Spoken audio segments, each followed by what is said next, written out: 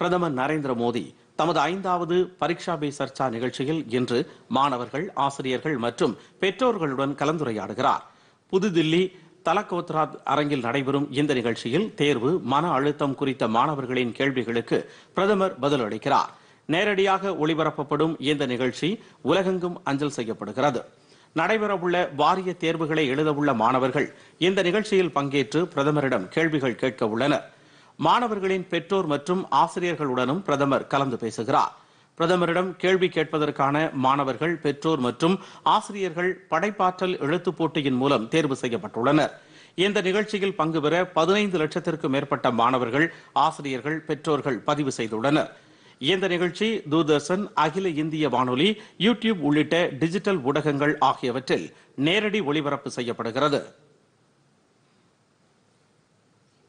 முன்னதாக நேற்று மாலை பிரதமர் நரேந்திர மோடி இந்த நிகழ்ச்சியில் இடம்பெறும் வீடியோ படங்களை ஊடகங்களில் பகிர்ந்து கொண்டார்.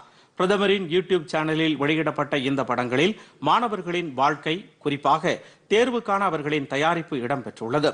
கடந்த ஆண்டுகளில் நடைபெற்ற பரீட்சா பே சர்ச்சா நிகழ்ச்சிகளில் அளிக்கப்பட்ட ஆலோசனைகளும் இதில் இடம்பெற்றுள்ளன.